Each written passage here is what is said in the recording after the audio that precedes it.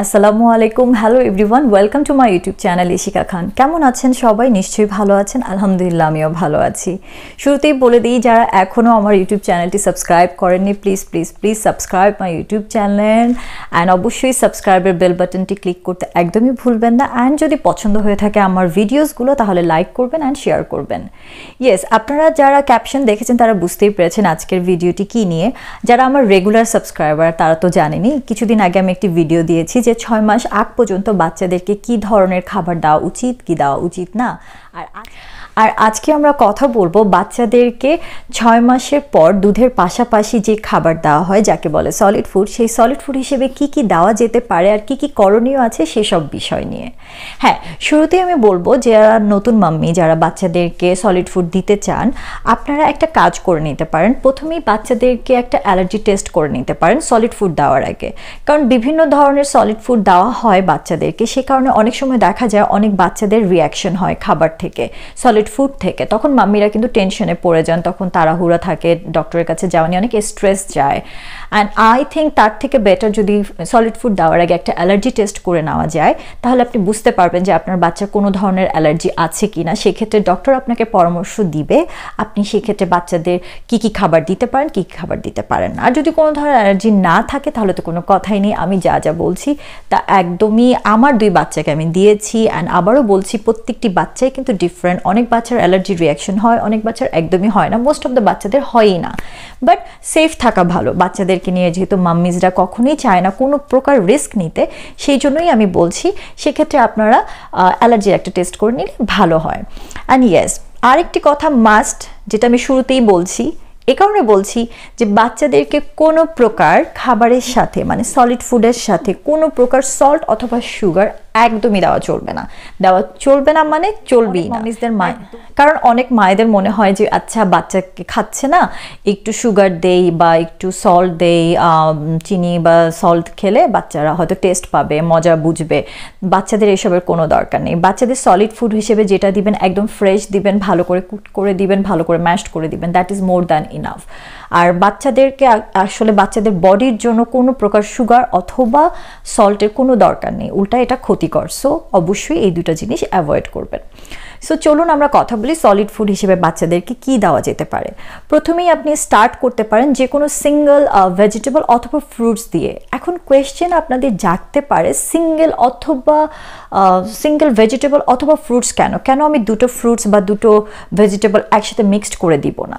এ কারণে দিবেন না, কারণ শুরুতেই বাচ্চাদেরও কিন্তু প্রথম যেহেতু তারা সলিড ফুড খাচ্ছে, তাদেরও কিন্তু যে কোনো ব্যাপারে একটা টেস্ট বোঝার ক্ষমতা আছে। সেই টেস্টটা বোঝার জন্য তো আপনাদের তাদেরকে টাইম দিতে হবে। মানে তাদেরকে বুঝতে দিতে হবে। এখন যদি আপনি দুইটা ফ্রুটস একসাথে মিক্সড করে দেন, বাচ্চাটা কিন্তু বুঝতে পারছে না যে সে অ্যাপেল খাচ্ছে না বানানা খাচ্ছে। কারণ দুটো যদি মিক্সড করে দেন, তার কাছে টেস্টটা কিন্তু, সেই অ্যাপেলের টেস্টটা কিন্তু সে পাচ্ছে না। আর টেস্ট আর টেক্সচার্স বোঝার জন্য বাচ্চাদেরকে প্রথমেই অবশ্যই সিঙ্গেল সিঙ্গেল ফুডস দিতে হবে। অ্যান্ড সেটা ভেজিটেবল হতে পারে, ধরেন ব্রোকলি আপনি সিদ্ধ করে দিতে পারেন, অথবা ফুলকপি আপনি সুন্দর করে সিদ্ধ করে দিতে পারেন, অথবা ধরেন অ্যাপেল আপনি সুন্দর করে সিদ্ধ করে ম্যাশড করে দিতে পারেন, অথবা আপনি বানানা ম্যাশড করে দিতে পারেন। সেক্ষেত্রে অবশ্যই আপনি সিঙ্গেলভাবে দিবেন যাতে বাচ্চাও খাবারের টেস্টটা বুঝতে পারে এবং টেক্সচার্সটা বুঝতে পারে। সো দ্যাট বাচ্চার জন্য খাবার খেতে ইজি হবে এবং সে বুঝবে কোনটা কোন ধরনের টেস্ট সে এনজয় করবে এবং আপনিও বুঝতে পারবেন আপনার বাচ্চা কোন ধরনের খাবার খেতে পছন্দ করে, কোন ধরনের খাবার খেতে পছন্দ করে না। আরেকটা ব্যাপার আছে, দেখা যাবে প্রথমে আমরা অনেক মাম্মিরাই ভাবি যে ও মাই গড আমার বাচ্চা খাচ্ছে না, একটুখানি টেস্ট করেছে, কেন বেশি খাচ্ছে না? প্লিজ ফার্স্ট অফ অল এই ব্যাপারটি একদমই চিন্তার বাইরে নিয়ে যান, টেনশনের বাইরে নিয়ে যান যে আপনার বাচ্চা কি পরিমাণ খেলো, না খেলো সলিড ফুড প্রথম দিকে দেওয়ার বেলা এইসব চিন্তা একদমই মাথায় আনবেন না। বাচ্চা ট্রাই করছে এটাই অনেক। এক এক বেবি এক এক রকম। কিছু বেবি একটু বেশি খাবে, কিছু বেবি একটু জাস্ট ট্রাই করবে দ্যাটস ইট সো বাচ্চাদেরাই এরকমই হয়। আমি আগেও বলেছি, প্রত্যেকটি বাচ্চা যেমন প্রেগনেন্সি এক একজনের এক এক ধরনের হয়, ঠিক তেমনি বাচ্চারাও কিন্তু এক একজন এক এক ধরনের। কোনো বেবি খুব তাড়াতাড়ি সলিড ফুড খেতে ইউনো সলিড ফুডের সাথে মিশে যায়, কোনো বেবি একটু টাইম নিয়ে সলিড ফুড এনজয় করে। সো বাচ্চাদেরকে একটু টাইম দেন অ্যান্ড একদমই স্ট্রেস নেবেন না যে আপনার বাচ্চা কত পরিমাণ খাচ্ছে। এক চামচ খেলেও that is more than enough so এই সলিড ফুড ফার্স্ট টাইমে দেওয়ার বেলায় পরিমাণটাকে মাথা থেকে ছাড়িয়ে ফেলুন। বাচ্চাকে দিন। সে যদি খাবার খেতে এনজয় করে, তাকে খেতে দিন। যখন সে মাথা নাড়াবে যে সে খেতে চায় না বা সে খাবার থেকে মুখ সরাচ্ছে, আপনি ট্রাই করছেন তাহলে আর দিবেন না। বাচ্চাকে কখনোই ফোর্সফুলি কোনো খাওয়ার জন্য প্রেশার দিবেন না। বাচ্চাদেরকে ফোর্স করা হলে তাদের কিন্তু খাওয়ার প্রতি একটা অনীহা চলে আসবে।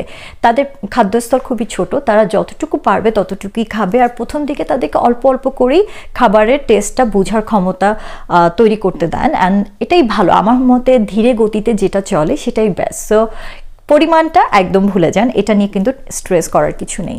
অ্যান্ড সলিড ফুড হিসেবে আপনারা দিতে পারেন, সবজির ক্ষেত্রে আমি বলব ব্রোকলি ফুলকপি ক্যারটস যে কোনো ধরনের শাকসবজি পটেটো সুইট পটেটো ফ্রুটস হিসেবে পিচ ওয়াটারমেলন অ্যাপেল বানানা যে কোনো ধরনের। অ্যান্ড অবশ্যই মাথায় রাখতে হবে, বাচ্চাকে কোনো প্রকার হার্ড জাতীয় কোনো খাবার দেওয়া যাবে না। বাচ্চাকে অবশ্যই সফট জাতীয় খাবার দিতে হবে এবং র খাবারও একদমই দেওয়া যাবে না। র মানে কুকড খাওয়া ছাড়া, খাবার ছাড়া একদমই দিবেন না।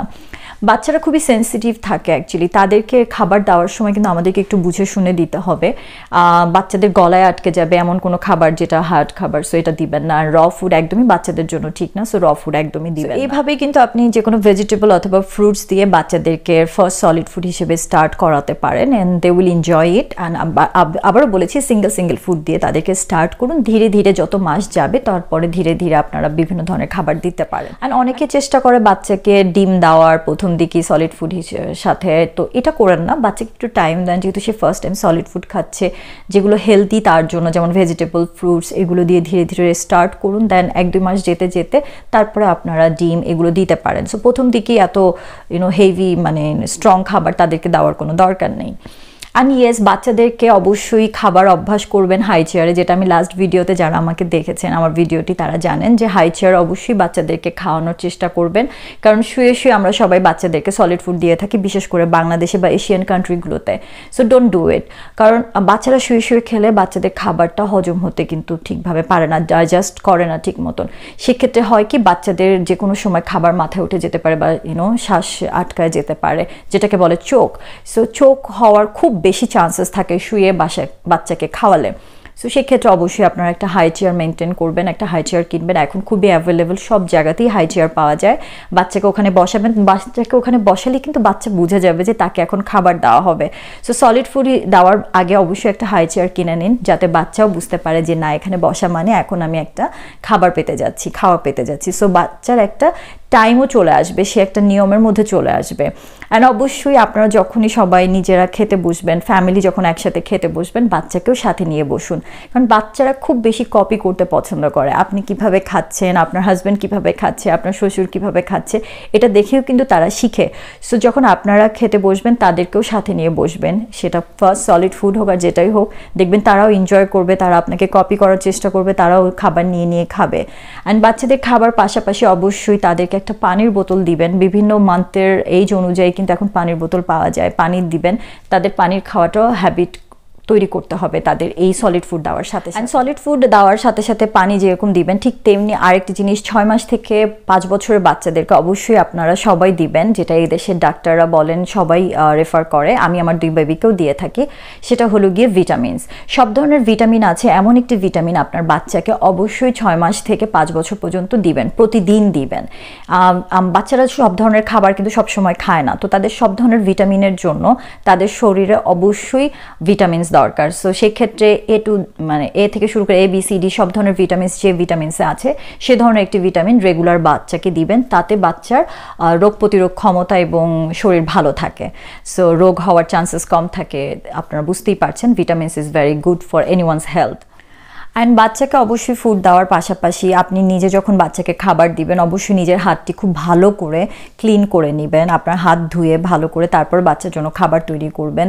অ্যান্ড অবশ্যই বাচ্চাকে খাবার দেওয়ার আগে মাথায় রাখতে হবে যে খাবারটি অতিরিক্ত গরম কি না সেটা আপনার আঙ্গুল দিয়ে একটু খাবারের মধ্যে টাচ করে দেখবেন যে খাবারের অবস্থাটা কি। মানে ঠান্ডা না গরম, কারণ অতিরিক্ত গরম খাবার অবশ্যই বাচ্চাকে দিবেন না। সেই জিনিসটা আপনাকে অবশ্যই চেক করে নিতে হবে। অ্যান্ড বাচ্চাদেরকে যে কোনো ফ্রুটস দেওয়ার আগে অবশ্যই খুব ভালো করে ক্লিন করে দিতে হবে এবং যে কোনো ফার্স্ট সলিড ফুড হিসেবে বাচ্চাদেরকে অবশ্যই ম্যাশড করে অথবা ইউনো ব্লেন্ড করে বাচ্চাদেরকে খাবার দেওয়া উচিত দিতে হবে।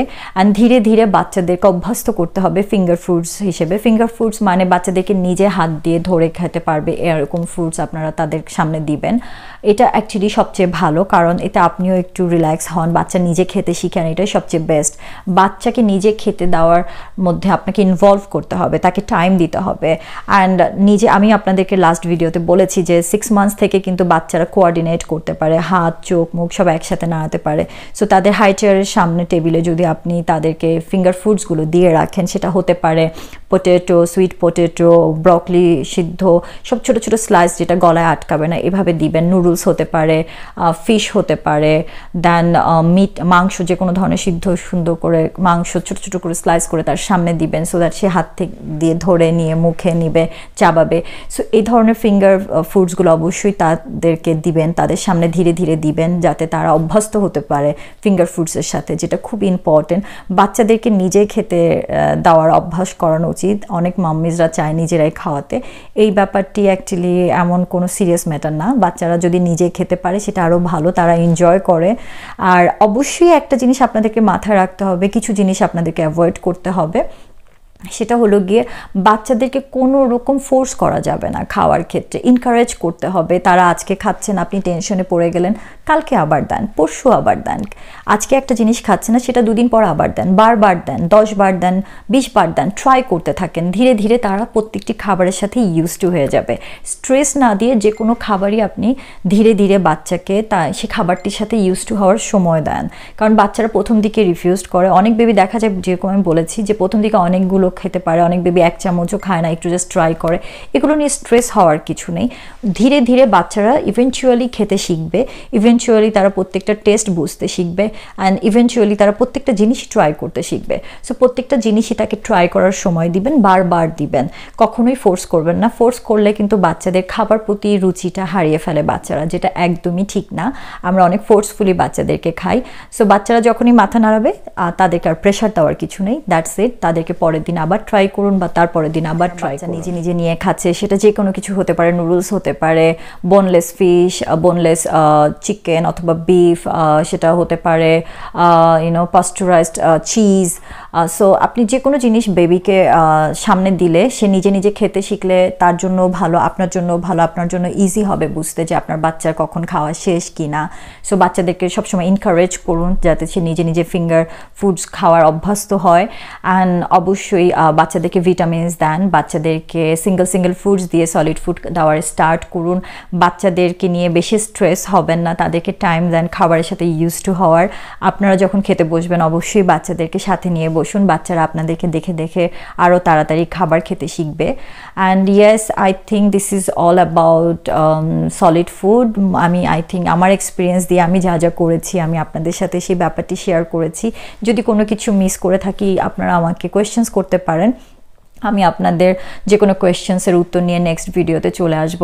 আপনারা চাইলে আমার এই ভিডিওর নিচে কমেন্টস করে যে কোনো প্রশ্ন থাকলে আপনাদের অবশ্যই করতে পারেন। সো আজকের মতন আমি শিখা এখানেই বিদায় নিচ্ছি। যে কোনো প্রশ্ন থাকলে অ্যাজ আই সেইড আপনারা আমাকে করতে পারেন। অ্যান্ড মাম্মিদেরকে বলছি please be happy because happy mummy a happy baby so মাম্মিদেরকে happy থাকা খুব ইম্পর্ট্যান্ট কোনো স্ট্রেসের কিছু নাই। প্রত্যেকটা জিনিসেরই সময় লাগে সব কিছুর জন্য সময় দিতে হবে আর নিজেকে হ্যাপি থাকতে হবে, বাচ্চাকেও হ্যাপি রাখতে হবে। আজকে আমি বিদায় নিচ্ছি শিকা খান এখানেই। সবাই ভালো থাকুন, সুস্থ থাকুন। আল্লাহ হাফেজ।